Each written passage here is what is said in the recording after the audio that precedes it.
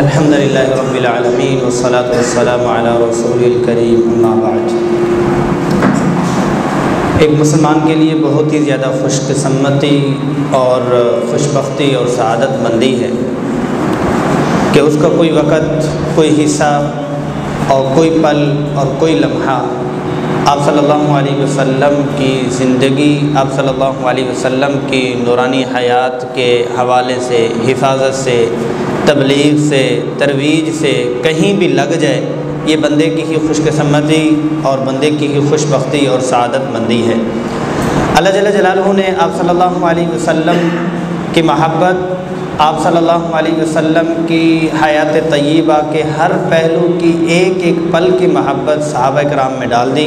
صحابہ کے بعد تابعین تب تابعین، محدثین، فقہا، رجال اللہ لا تلہیہم تجارت ولا بیع عن ذکر اللہ، کہ ان کو دنیا اور دنیا کی چہل پہل، اللہ کی یاد، اللہ کے رسول صلی اللہ علیہ وسلم کی حدیث سے روکتی نہیں تھی، بلکہ ان کا تگ و دو ایک ہی غم تھا کہ آپ صلی اللہ علیہ وسلم کی حدیث کی حفاظت ہو، ترویج ہو، تبلیغ ہو۔ اب یہ ہے کہ آپ صلی اللہ علیہ وسلم کی حدیث کے حوالے سے موجودہ دور میں جو شبہات پھیلائے جاتے ہیں یا یہ ہے کہ لوگوں کو ان، اس چیزوں میں الجھایا جاتا ہے، اس کے حوالے سے ہمارا یہ سبق چل رہا ہے۔ تین شبے اور ان کے جواب ہو چکے تھے۔ اب یہ ہے کہ ایک اور منکرین حدیث حدیث کو جو نہیں مانتے یا حدیث کو جو حجت نہیں سمجھتے، ان کی طرف سے ایک اعتراض یہ آتا ہے کہ حدیث ضنی ہے، جو چیز ضنی ہوتی ہے وہ حجت نہیں ہوتی۔ جو چیز ضنی ہوتی ہے وہ حجت نہیں ہوتی۔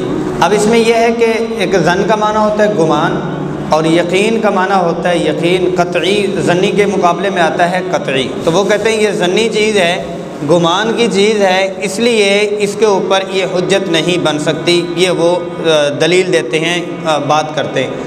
سب سے پہلے تو یہ ہے کہ مجموعہ مجموعی طور پر ہر ایک چیز کا جواب دینا اور ہر ایک پل اور جزی کا اس وقت جواب دینا ہوتا ہے کہ جب سمجھنے والا سامنے عاقل ہو، سمجھدار ہو، اہل علم ہو، تو تب تو ایک ایک جزی کا، ایک ایک پل کا اور ایک ایک لفظ کا جواب دیا جاتا ہے۔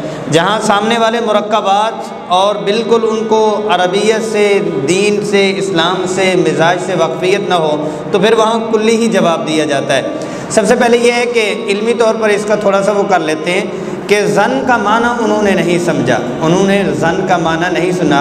انہوں نے بس سن لیا ہے کہ زن کہتے ہیں گمان کو۔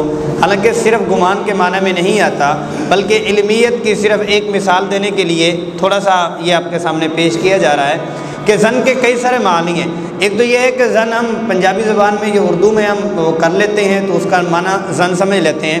جبکہ قرآن مجید میں زن پانچ الفاظ کے لیے، پانچ معنی کے لیے استعمال ہوتا ہے۔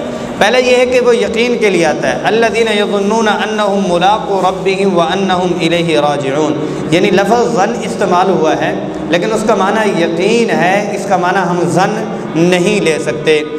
ایک اور معنی میں استعمال ہوتا ہے ضن غالب۔ مطلب یہ ہے کہ یقین کے قریب قریب۔ فعن اللہ کہا فلاں جناح علیہما تراجع ان ضن ان یقیم حدود اللہ ضنّا کا جو یہاں پر ہے کہ اس کو غالب ہو کہ وہ حدود کو پاسداری کریں گے یا نہیں کریں گے، یہاں پر ضن غالب کا معنی پایا جا رہا ہے۔ تیسرا معنی یہ ہوتا ہے کہ شک ہوتا ہے، جو یقین کے مقابلے میں ہوتا ہے ان نغن ان ان اللہ غن وما نحن بمستقلین کہ ہمیں شک سا پڑا ہوا ہے۔ نغن شک کے معنی میں بھی آ گیا ہے کہ غن کا لفظ استعمال ہوا ہے، لیکن معنی یہاں پر غن والا نہیں کیا جا رہا۔ چوتھا معنی یہ ہے کہ جھوٹ بولنے میں بھی آتا ہے۔ ومن ام امیون اللہ علمون الکتاب اللہ امانیہ و ان ام اللہ یغنون